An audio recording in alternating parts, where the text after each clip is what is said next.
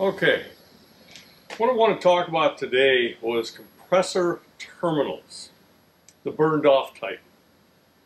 Okay, here I have a compressor, obviously this is not put in anything, and if you look close, these terminals are not burned. However, oftentimes they do get burned. There's just a push-on connector on these things, and sometimes they get a little bit loose, and they'll heat, and a couple of things may happen then. It could just burn the wire off. It could burn all the way through into the compressor, which means it blows oil and refrigerant all over the place. The compressor's dead. Or it could damage these connections here, these little terminals. Now, if part of this terminal is gone, there's a fairly good chance you're not going to be able to put a terminal on there. Now I'll show you this terminal, I'll give you a close-up of it because you can't see it well from here. This is actually designed for these compressors. This is kind of an antique. Uh, and it would be pushed on like that and a wire would be put on. They're a little different than the regular connectors because this uh, shaft that sticks out interferes with the other connectors. So they made this one a little bit wider. Okay. What I want to do is I want to come up with something that I can put on here that is tight and will save this compressor.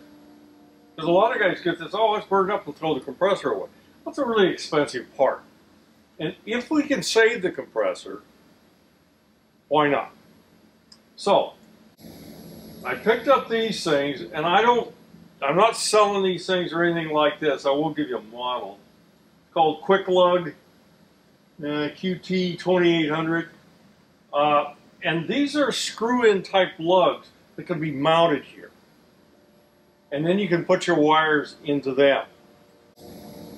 That may save a compressor. You know, if it's really badly burned off and there's not enough to connect to, you're, you're toast.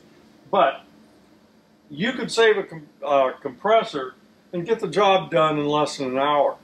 So I'm going to take this stuff out of here and kind of give you an idea how it goes together. It's not a real uh, tutorial on how to put these on, but it kind of gives an overall uh, view of them. Because uh, I think you're smart enough to probably put these on. Directions on the back. You know, yeah. Okay. Here the little things are. Kind of looks like a little house. Well, the house part of this goes in like this. That's how that fits in there.